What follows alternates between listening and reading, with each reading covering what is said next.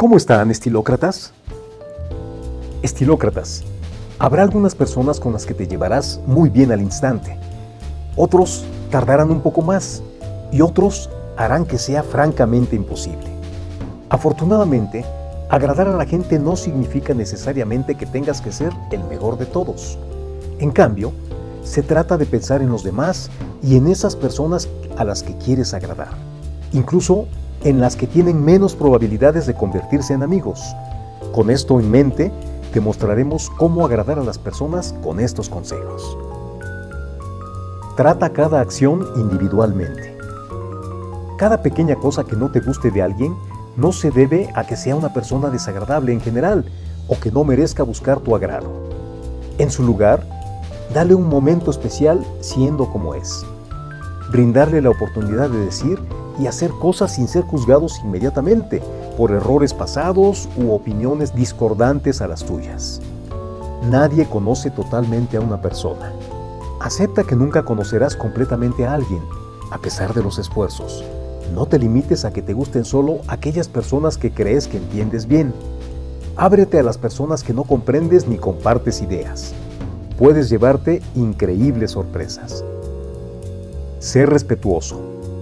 Mentaliza que nunca entenderás las motivaciones, deseos y forma de vida de alguien, que cada quien se mueve según sus ideales buenos o malos. Recuerda que todos tenemos defectos. Más importante aún, recuerda que los defectos de alguien pueden solucionar los tuyos. Acepta que cada persona es su propia persona. No esperes que estén a la altura de tus expectativas. Tome su tiempo. Evita iniciar una discusión o situación acalorada. Resiste el impulso de responder de inmediato a cada acción o comentario de los demás. Siempre date un momento para reflexionar antes de continuar. Reconsidera tus posibles errores y alienta a la otra persona a hacer lo mismo. Sé la voz de la razón. Piensa en ti.